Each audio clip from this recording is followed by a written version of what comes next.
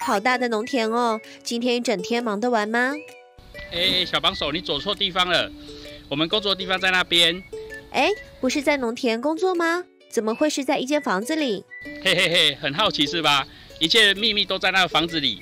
你先记住两组神秘数字：十五跟二十。走，我们进去看看吧。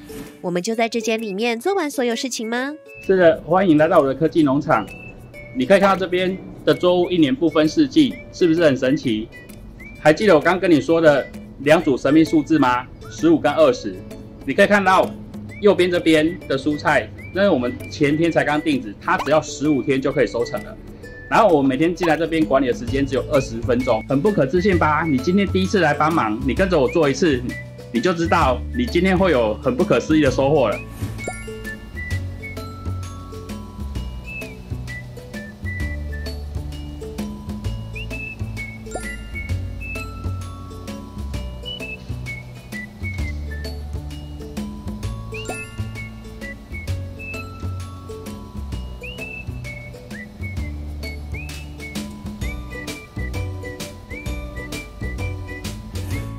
职人，我来帮你加点肥料吧。No No No，什么都不要加。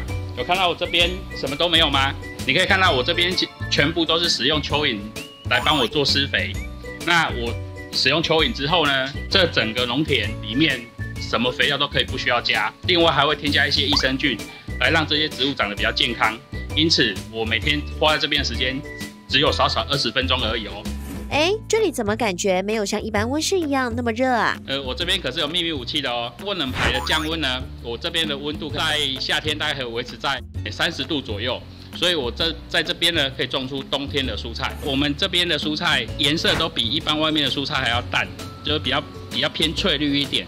主要原因是因为我们的屋顶有紫外线的涂层，可以帮我帮忙把紫外线阻隔在温室外面，紫外线比较少，所以它的口感啊、甜度都会比。外面同时间种植的蔬菜还要来得好，这样子有学起来了吗？并其实发现了比较好的驱除害虫的一个方式。看到我们植床上面啊，有种了一些香药草的作物，像迷迭香啊、薄荷啊，还有柠檬马鞭草。那这些东西呢，个别都可以防治不同的害虫，而进而达到我只要驱赶害虫就好，而不必把害虫给杀死。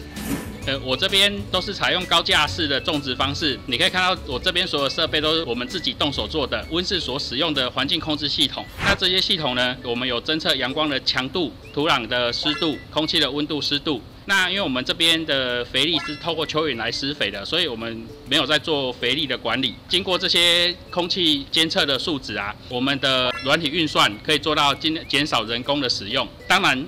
我最后是还是希望可以尽量可以不用进来温室，就是可以尽量不要进来温室里面做管理。我使用比较回归原始自然的方式，尽量不要施予过多的肥料，或者是使用肥力自然循环的方式，维持最原始的状态。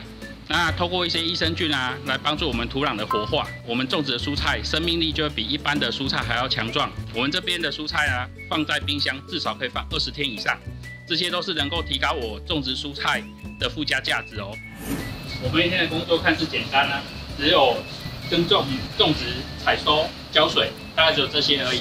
是我们在里面隐藏了一些不同层面的科技在里面。除了原本的农业科技之外啊，我们的技术领域还涵盖了资工、资管、电机，还有生物机电方面的一些知识。呃，我当初成为科技农夫啊，只有两个最主要的目的，一个就是提供市场上最健康的食材，第二个呢就是。透过一些科技的应用，让我的空闲时间比一般的农民多。那我们早期啊，一般农民在种植的时候，我们几乎每天都是被农田给绑住了。但是透过这些资讯化的应用啊，这边每天只要花二十分钟就可以把我的农田给照顾好了。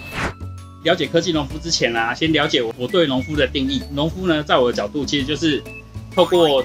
自然的方式跟自然共生共荣，生产出健康有能量的蔬菜。像我们农场里面啊所种植的蔬菜，我们其实都有根据月亮的引力来种植的。那例如说每个月农历的十四号，我们就会开始播种。主要原因呢是那天的引力适合植物根系的生长，所以我们在播种的时候可以得到最健康的的蔬菜。那每个月农历十五号我们会采收。那在这一天呢，植物的能量是最强的，所以。这些东西都已经被我们大部分的农夫给遗忘了。我希望在我们的农法上面可以把这个知识给找回来。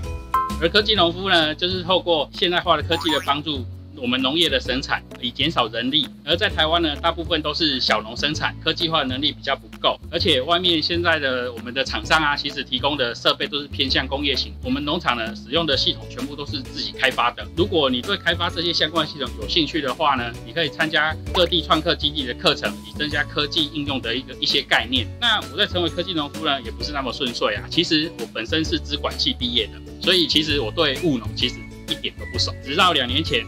因为家里有农地的关系，所以才投入这边的生产。但是啊，我在十年前就已经决定要成为农夫了。那所以，我在这十年的时间呢，其实是把我所学的东西做出了资讯系统，应用到农业方面。那我大概花了十年的时间在在做系统上的调整，在过程呢也不是那么简单。哇，没想到需要做这么多的准备啊！